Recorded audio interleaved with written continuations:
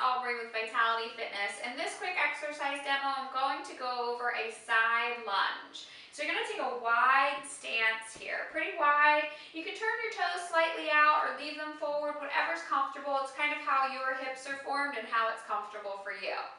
You're going to bring your hands together. You're gonna bend at your hips a little bit. You wanna keep your chest up and open.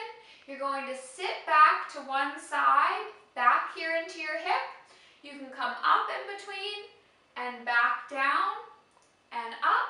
If you want to make it a little bit more challenging, go from side to side without coming up. Back and forth here. But you really want to make sure that you're sitting back in your hip and back this way. Give it a try and see how you feel.